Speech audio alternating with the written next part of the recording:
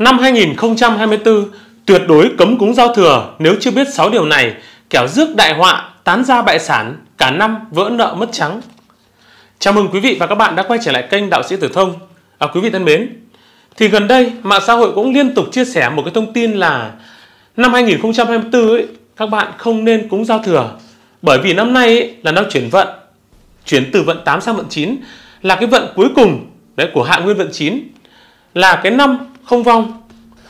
Cái vòng năng lượng của cái ngày cuối năm cực xấu nên là gì?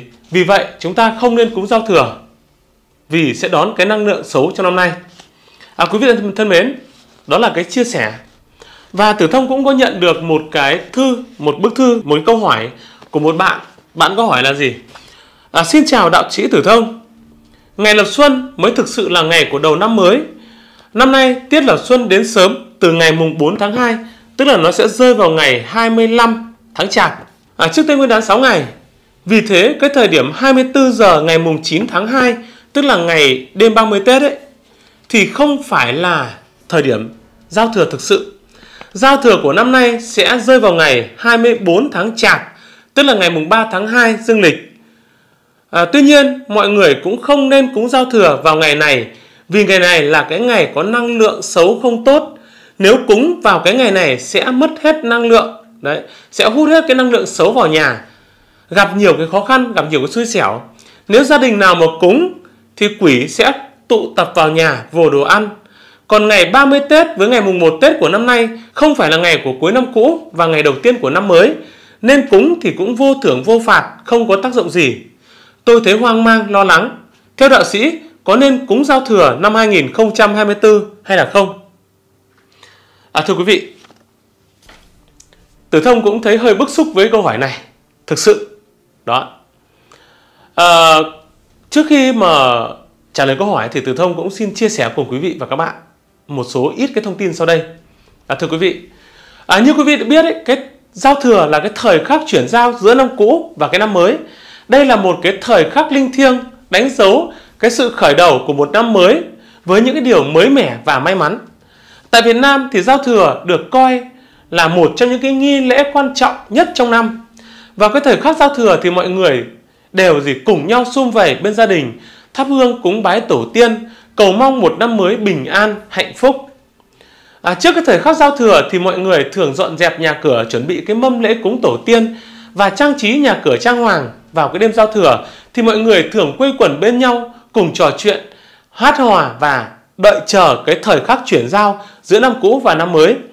Khi mà tiếng pháo hoa vang lên, báo hiệu một năm mới đã bắt đầu, mọi người cùng nhau chúc nhau những cái lời chúc tốt đẹp nhất. Đây là cái thời khắc để mọi người quên đi những cái buồn phiền, những cái khó khăn của năm cũ và bắt đầu một cái năm mới đấy với cái hy vọng đấy đạt được những cái ước mơ ước mơ tốt đẹp hơn trong tương lai à, thưa quý vị nói chung ấy ở một số nước như Việt Nam, Trung Quốc hoặc là gì à, ở Indonesia hay là Nhật Bản hoặc là Hàn Quốc ấy, Triều Tiên ấy thì chúng ta được đón giao thừa tận hai lần trong một năm. Một cái lễ giao thừa của ngày Tết Dương lịch đó là ngày mùng 1 tháng 1 năm 2024 và một cái Tết giao thừa âm lịch đấy là nó sẽ rơi vào ngày mùng 10 tháng 2 năm 2024 đó đó tức là ngày 30 Tết âm lịch đấy, đấy. À, ý nghĩa của cái lễ Tết giao thừa ấy, nó là một cái thời khắc linh thiêng nó mang cái ý nghĩa đặc biệt đến đối với mỗi người dân Việt Nam đây là cái khoảng thời gian để mọi người cùng nhau sum vầy đoàn tụ và cầu mong những cái điều tốt đẹp nhất đến cho năm mới và cầu mong một cái năm mới được an lành, hạnh phúc bên những người mình thương yêu. Giao thừa cũng là cái dịp để mọi người thể hiện cái tinh thần đoàn kết, yêu thương. Gia đình cùng nhau tụ họp, gửi cho nhau những cái lời chúc yêu thương với mong muốn sẽ có được một năm mới an lành và hạnh phúc.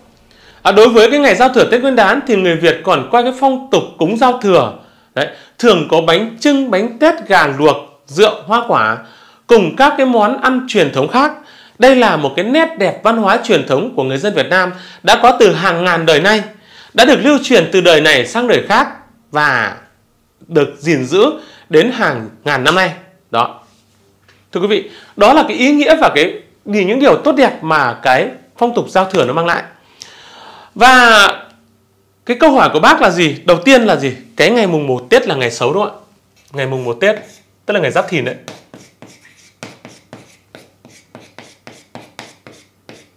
Ngày Giáp Thìn là ngày xấu. À, thưa quý vị, thì cái câu hỏi của bác vừa rồi là nói là gì? Cái ngày Giáp Thìn. Đấy, ngày mùng 1 Tết là cái ngày xấu, tức là cái thời khắc giao thừa nó là ngày xấu nhá. Vị trí là không nên cúng, đúng không ạ?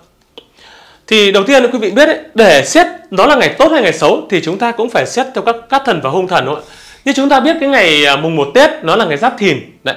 Ngày Giáp Thìn có gì? Giáp Mộc, Thìn Thổ, đó là can chi là tương khắc. Nó là ngày cát trung bình là ngày chế nhật. Nạp âm của ngày là Phúc Đăng Hỏa, kỵ cái tuổi Mậu Tuất và tuổi Canh Tuất. Ngày thuộc hành Hỏa thì nó chỉ khắc hành Kim, đặc biệt các tuổi là Nhâm Thân, Giáp Ngọ và à, thuộc nó thuộc hành Kim ấy, nhưng không sợ bị hỏa khắc. Ngày Thìn thì lục hợp với Dậu, nó tam hợp với Tý và Thân để được gì? trở thành tam hợp thủy cục. Thìn thì xung với Tuất, hình Thìn, hại Mùi, hại Mão, phá xỉu tuyệt Tuất để tam sát kỵ cái tuổi là Tỵ Dậu xỉu. Các cát thần trong ngày hôm nay thì có gì? Có Kim Quỹ Hoàng Đạo, có Kim Đường, Lộc Khố, Lục Nghi, có Ngũ Đế Sinh, có Phúc Đức, Thiên Nhạc, Thiên Quý. Thiên Tài Tinh, Thiên Vu, Thất Thánh, Tuế Đức, đấy, Vượng Nhật, Đại Minh, đó đó là những cái cát thần trong ngày hôm nay. Và những việc có thể làm được trong cái ngày giáp thìn nhé. Thì bao gồm các việc sau này.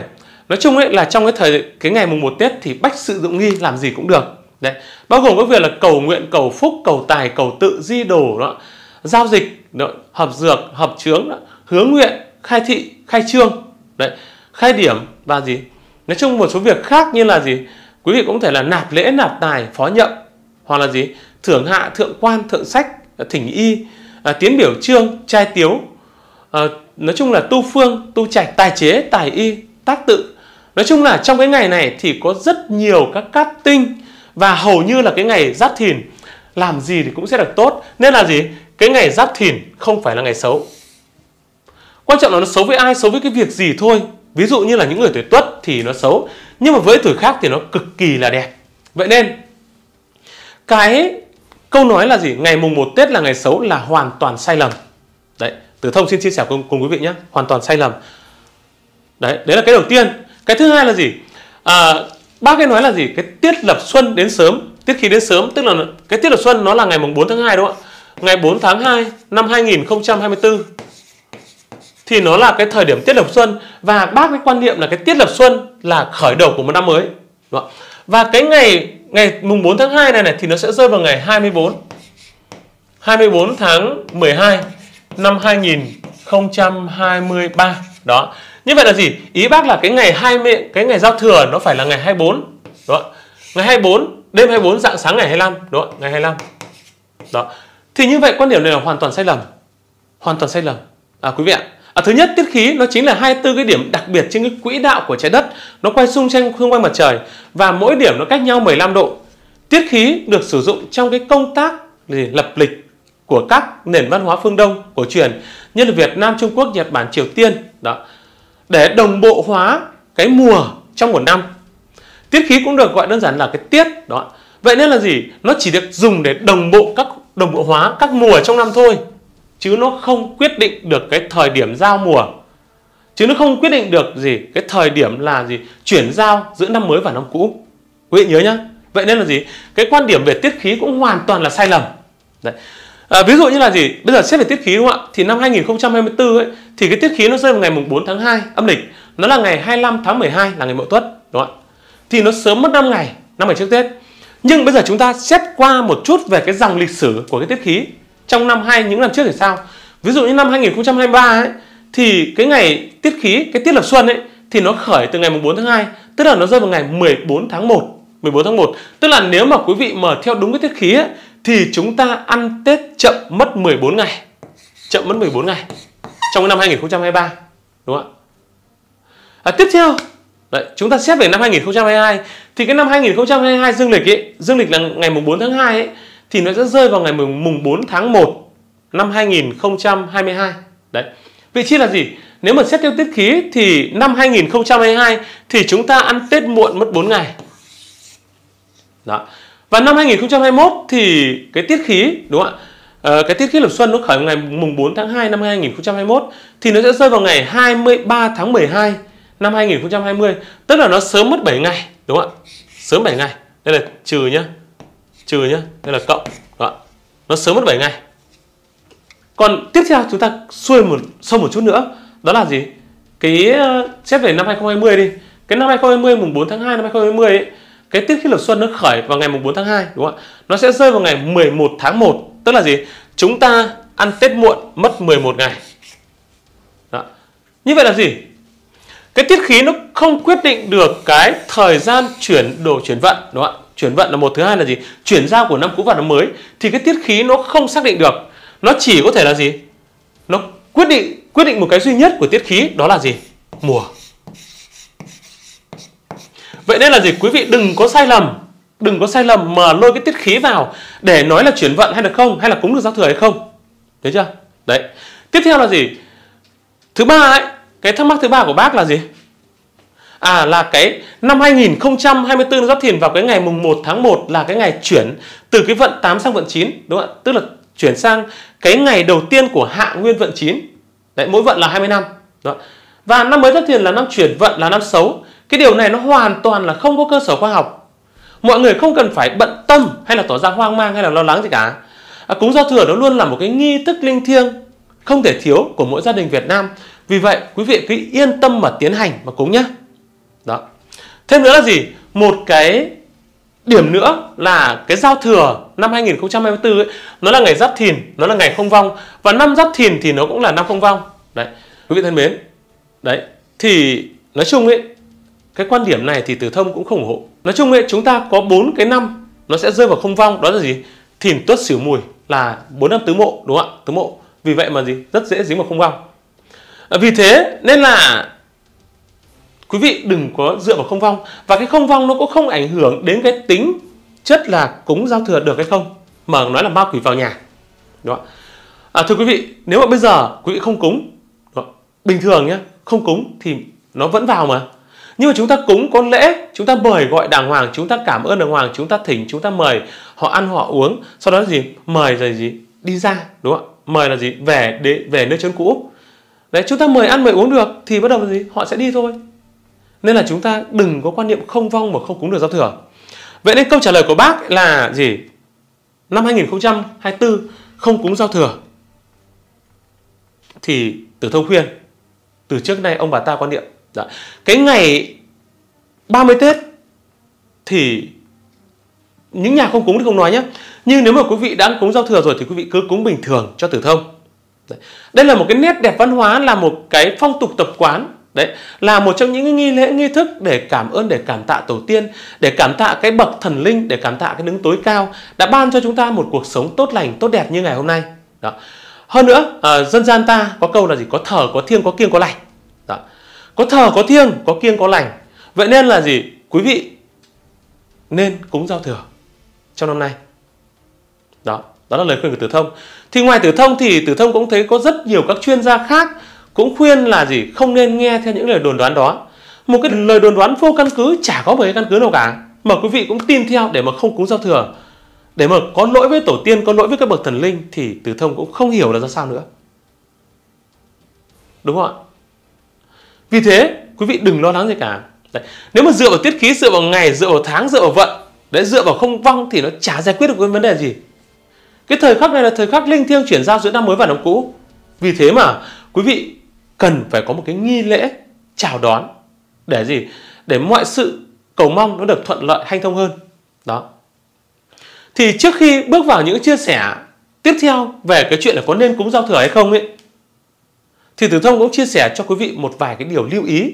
Đấy để quý vị có một cái năm mới thuận lợi hanh thông nếu phạm phải những cái điều đại kỵ này trong đêm giao thừa thì quý vị cũng gặp nhiều cái bế tắc khó khăn trong cuộc sống đấy. À, thưa quý vị như chúng ta biết một năm là có 365, 366 ngày. Đó. Nhưng chỉ có một vài cái ngày là cả gia đình chúng ta được đoàn tụ, được xung vầy. Đó là những ngày Tết, ngày lễ, ngày 30 tháng 4, mùng 1 tháng 5, vân vân. À, cái cơ hội tuyệt vời để gia đình chúng ta cùng nhau xung vầy như vậy, chào đón những cái điều tốt đẹp trong một năm mới và xua đi những cái điều xui rủi trong cái năm cũ. Vậy nên trong đêm giao thừa quý vị cũng cần phải tuyệt đối kiêng kỵ những cái điều sau để cả năm được xuân sẻ bình an may mắn. À, thưa quý vị, à, trước lúc cúng giao thừa ấy, thì từ xưa đến nay cái lễ cúng giao thừa quan trọng ở cái việc là người cúng phải thành tâm chứ không phải là cứ gì thật thịnh soạn là là đã đủ à, nhưng nói như vậy cũng không có nghĩa là các bạn làm một cách sơ sài thiếu quan tâm đến cái mâm cúng nhà mình tùy theo cái phong tục tập quán của từng vùng, từng miền, từng địa phương mà sẽ có những cái món đồ khác nhau. Nhưng mà trên cơ bản ấy, thì bao gồm có hương, đèn, nước, sạch, hoa quả, bánh kẹo, bánh mứt, cũng như là các đồ cúng như là xôi, bánh trưng thịt gà, vân vân. Sắp xếp trên cái mông cúng cần phải lưu ý là bánh kẹo, hoa quả phải được sắp lên trên ban thờ chính, còn mâm cỗ mặn thì sắp ở phía bên dưới. Đó, chúng ta làm một cái bàn cơm, chúng ta kéo ra, chúng ta đặt cái mâm mâm lễ mâm lễ cúng giao thừa, đúng không à, thứ hai là gì? Cái lúc cúng giao thừa quý vị cần phải lưu ý những điều gì? À, thưa quý vị một trong những điều kiêng kỵ trong đêm giao thừa là trong quá trình cúng giao thừa ấy, các thành viên ăn nói phải nhỏ nhẹ không được cười đùa to tiếng hoặc là gọi to tên nhau. Lý giải cái nguyên nhân này là vì là như vậy thì sẽ dẫn ma quỷ vào nhà khiến cho các thành viên trong gia đình đặc biệt là trẻ con người già hoặc là những người có sức khỏe yếu ấy sang năm mới sẽ dễ bị ốm đau bệnh tật. Đó thì quý vị cũng cần phải kiêng à, thưa quý vị còn sau khi cúng giao thừa ấy nói chung ấy sau khi cúng giao thừa thì quý vị sẽ mời gọi linh hồn của tổ tiên về nhà ăn tết. Thì cái chỗ hai bên ban thờ không ai được ngồi. À, nếu mà ngồi ở đây thì sẽ xảy ra tình trạng là cạnh tranh tranh giành với địa vị của tổ tiên. Thì ngoài ra ấy, một số cái lưu ý nhỏ đó là không được đem trà uống thừa đổ trên mặt đất để tránh lẫn lộn với cái việc về nước bọt đó. À, sau cái thời khắc giao thừa linh thiêng đánh dấu cái sự bắt đầu của một năm mới sắp đến thì các bạn cần phải kiêng kỵ nói chuyện to cãi vã mâu thuẫn với nhau. Mọi người thì nên đối xử với nhau với một cái thái độ vui vẻ ân cần thì cái năm mới nó sẽ được bình yên may mắn tài lộc dồi dào. Và sau đây là những cái điều kiêng kỵ mà quý vị cũng cần phải lưu ý trong đêm giao thừa. Một là chuyện vợ chồng trong đêm giao thừa. À, thưa quý vị nhiều người có quan niệm kiêng kỵ làm cái chuyện vợ chồng trong cái ngày rằm, ngày mùng 1 cũng như là cái đêm giao thừa vì cho rằng làm như thế thì vào cái ngày này sẽ dẫn đến nhiều cái chuyện đen đủi không may mắn, thậm chí là đại hạn, ảnh hưởng đến cái sức khỏe của cả nam và nữ. Cái chuyện này lại càng khiến cho người ta trở nên e rẻ hơn vào những cái ngày giao thừa và ngày đầu năm. Vì họ cho rằng đây là cái ngày mà tổ tiên ông bà đoàn tụ với con cháu, làm như vậy sẽ bất kính với cái đặc bậc bề trên à, thưa quý vị cái ngày rằm ngày mùng 1 đặc biệt là cái ngày mùng 1 Tết là cái ngày có nguồn năng lượng ừ, nó khá là lớn. Vì thế mà tốt nhất là trong cái thời gian này quý vị cũng nên kiêng kỵ thì sẽ được tốt lành hơn. Kiêng kỵ thứ hai là kiêng kỵ làm đổ vỡ cái đồ vật. À, thưa quý vị cái thời khắc giao thừa linh thiêng cũng chính là cái ngày đầu tháng của năm mới. Đầu năm nên là cũng rất kỵ cái việc đổ vỡ. À, theo quan niệm của người xưa ấy, thì cái việc đổ vỡ trong cái khoảnh khắc trong khoảng thời gian này là cái việc đại kỵ. Nó sẽ gây ra những cái bất lợi những cái xui xẻo những cái bất hạnh nó sẽ xảy đến với gia đình trong cái năm mới. À, đặc biệt là khi mà làm đổ vỡ đồ vật ấy, thì cả nhà sẽ gì? Sẽ bị rông cả năm. À, thì ngoài ra cái việc gây ra cái tiếng động lớn thì cũng rất dễ khiến cho ác quỷ bị đánh thức. Nên là gì? Quý vị cũng hạn chế hết mức. Nói cho tóm lại đổ vỡ đồ vật là cái điều không may mắn cũng nên kiêng kỵ nên là quý vị tuyệt đối không nên Đấy, làm việc gì cũng phải cần phải cẩn thận nhé tránh đổ vỡ. Kiêng kỵ thứ ba là kiêng quét nhà sau giao thừa. À, thưa quý vị thêm một cái điều kiêng kỵ trong đêm giao thừa nữa là cái việc quét nhà ngay sau đêm giao thừa. Người xưa cho rằng cái việc làm này nó cũng có ý nghĩa là quét đi những cái điều may mắn ra khỏi nhà. Vì thế người ta kiêng quét nhà vào ngày tết nói chung ấy và ngay sau cái giờ phút giao thừa nói riêng. Đấy à, một số địa phương thì cũng vẫn duy trì cái tục lệ này cho đến tận ngày nay. Cái kiêng kỵ thứ tư là kiêng mặc đồ đen hoặc là đồ trắng. À, trong cái thời khắc chuyển giao giữa năm cũ và năm mới tránh mặc những cái đồ có màu đen hoặc là màu trắng vì hai cái màu này nó đại diện cho cái sự tang tóc không may mắn. Mọi người nên lựa chọn những cái bộ đồ quần áo màu sắc tươi sáng rực rỡ có thể phối hợp nhiều cái màu với nhau để gì? Tạo ra cái sự may mắn cát lợi kiêng kỵ thứ năm là kiêng kỵ soi gương đêm giao thừa. À, thưa quý vị có quan niệm cho rằng soi gương trong đêm giao thừa có thể gặp phải ác ma. Vì thế nên tránh cái việc này thì tốt hơn. À, kiêng kỵ thứ sáu là đổ đèn dầu ra nền nhà. À, thưa quý vị người xưa quan niệm làm như vậy thì cái mùi đèn dầu nó bị ám mùi rượu thì ma quỷ sẽ gì? Tỉnh dậy và khiến cho tai họa nó lũ lượt nó kéo đến. À, quý vị thân mến, các cụ nhà ta có câu nói là có thờ có thiêng có kiêng có lành. À, trên đây là một số cái quan niệm về những cái điều kiêng kỵ trong đêm giao thừa để quý vị giữ được bình an may mắn cho gia đình trong một năm mới. Mong rằng với những cái lưu ý trên thì mọi người sẽ có được một cái năm mới thuận lợi hanh thông, tài lộc dồi dào, vạn điều cát tường sẽ đến với quý vị. À, thưa quý vị, à, quay trở lại với chương trình là không cúng giao thừa trong năm 2024. À, quý vị thân mến, tiếp theo Tử Thông sẽ chia sẻ cùng quý vị và các bạn về những cái quan điểm của một số các chuyên gia về phong thủy có tiếng cũng sẽ nói về cái có nên cúng giao thừa hay không. Thứ nhất là gì? Không cúng giao thừa trong năm 2024 ấy, như Tử Thông vừa phân tích và chỉ ra rõ tử vận, ngày tốt, ngày xấu và cái tiết khí đúng không ạ? Nói chung ấy không có một cái cơ sở khoa học nào nói là không nên cúng giao thừa. À, thưa quý vị, à, nếu mà quý vị đã từng nghiên cứu về những cái tài liệu về phong thủy ấy, thì cũng đã biết đến ông Nguyễn Mạnh Linh. Đấy. À, nói chung ấy, ông nói rằng gì? Cái thông tin lan truyền trên mạng xã hội cho rằng không cúng giao thừa là cái năng lượng xấu là không có một cái, cái, cái cơ sở khoa học nào cả.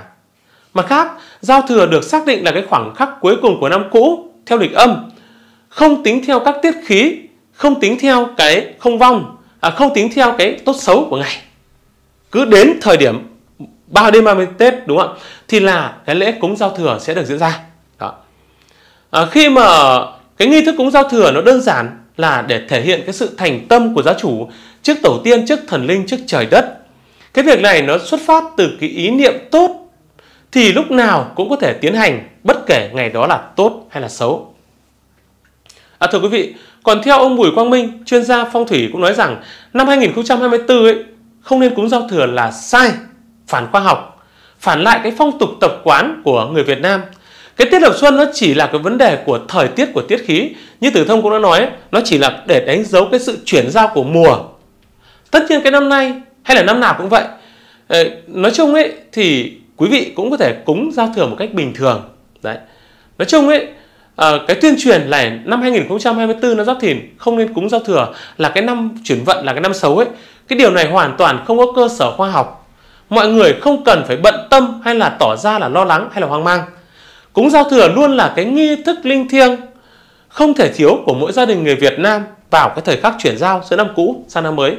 Vậy nên quý vị cứ yên tâm tiến hành với cái tấm lòng, tấm lòng thành kính thì sẽ được bề trên chứng cho. Đó. Bên cạnh đó à, tiến sĩ à, Dương Hoàng Lộc, Giám đốc Trung tâm Nghiên cứu về Tôn giáo và Đạo đức, Trường Đại học Khoa học Xã hội và Nhân văn Thành phố Hồ Chí Minh ấy, cũng có quan điểm là năm 2024 năm Giáp Thìn ấy không nên cúng giao thừa là sai. Đấy. Nói chung ấy, cúng giao thừa là cái tập tục tập quán văn hóa của người Việt vào cái đêm 29 hoặc là 30 tháng Chạp.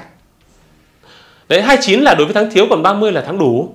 Đây là cái thời khắc chuyển giao giữa năm cũ sang năm mới không thể nào cúng giao thừa mà lại cúng vào cái ngày ví dụ tiết khí chuyển vận đúng không ạ như là gì cái cái, cái năm 2024 lại cúng vào cái ngày 24 25 Tết cả đúng không ạ? Cũng không bao giờ cúng vào cái ngày gì? Cái ngày 14 tháng 1 tức là sau sau cái thời gian chuyển giao tận 14 ngày. Cũng không thể cúng vào cái ngày mùng 4 Tết được cũng không thể cúng trước 7 ngày và hoặc là 11 ngày được. Đó. Điều này là hoàn toàn là sai lầm. Đó. Cúng giao thừa không liên quan đến cái việc chuyển vận hay là gì? Chuyển tiết khí. Vậy nên quý vị cần phải lưu ý. Cái việc thực hiện nghi lễ truyền thống cúng giao thừa nó gọi là cái nghi lễ tống cựu nghinh tân, tức là chúng ta đang tạm biệt cái năm cũ và chào đón cái năm mới, không liên quan đến việc chuyển từ vận 8 sang vận 9 hay là gì? Đây là cái sự hiểu sai lệch trong cái phục phong tục cổ truyền và cái hệ thống tiết khí, phong thủy, địa lý là hai cái phạm trù hoàn toàn khác nhau. Các bạn có không cúng thì cái vận khí nó vẫn cứ chuyển đấy theo cái tính quy luật của nó và chúng ta vẫn chào đón cái năm mới đấy chào đón một cái năm mới bình thường à, thưa quý vị và sau đây là những cái kết luận về cái năm 2024 có nên cúng giao thừa hay là không? Thưa quý vị cái việc thờ cúng giao thừa nó xuất phát từ cái ý niệm tốt. Có thể là gì? Tiến hành bất cứ ngày tốt xấu nào cũng được. Cúng giao thừa nó là một cái nghi lễ truyền thống của dân tộc là cái nét đẹp văn hóa cần phải giữ gìn và cần bảo tồn vì những cái giá trị linh thiêng của nó tránh xa đà vào cái vấn đề mê tín dị đoan. À, những thông tin thiếu tính khoa học như vừa rồi quý vị cũng không nên tin. À, thêm vào đó cúng giao thừa còn có tên gọi gọi là lễ trừ tịch. Tức là gì? Là cái nghi lễ xua đuổi cái điều không may mắn của năm cũ và chào đón những cái điều cát tường những cái điều cát lành của năm mới đến với gia chủ và các thành viên trong gia đình. Cái nghi lễ này nó cũng thể hiện cái sự tưởng nhớ tôn kính và thể hiện cái lòng biết ơn của con cháu đối với ông bà tổ tiên đối với các bậc thần linh đã luôn che chở phù hộ cho mọi người được bình an trong suốt một năm vừa qua. Cái việc làm này nó xuất phát từ cái ý niệm tốt thì có thể làm bất cứ thời gian nào cũng được bất kể ngày tốt xấu. Vì vậy quý vị hoàn toàn yên tâm mà làm. Đấy tử không à, tử thông cũng khuyên quý vị nên cúng giao thừa để nghênh đón thái tuế. À, giúp chúng ta có được một cái tâm tư là bình an hơn một cái tâm thái là ổn định hơn được các ngày che chở được tốt hơn. À, thưa quý vị bên cạnh thì quý vị cũng cần phải có một cái niềm tin tâm linh để thoát khỏi cái sự mê tín. Đó. Bản thân mỗi người có những cái niềm tin khác biệt không ai giống ai.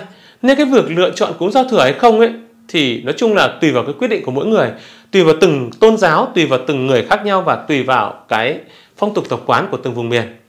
À, xét về bản chất thì các nghi lễ thờ cúng nói chung ấy cúng giao thừa nói riêng cũng nhằm mục đích là cầu mong cái sự bình an hướng đến những cái điều may mắn và tốt đẹp vậy nên ấy thì quý vị cũng cần phải cúng để cho gì?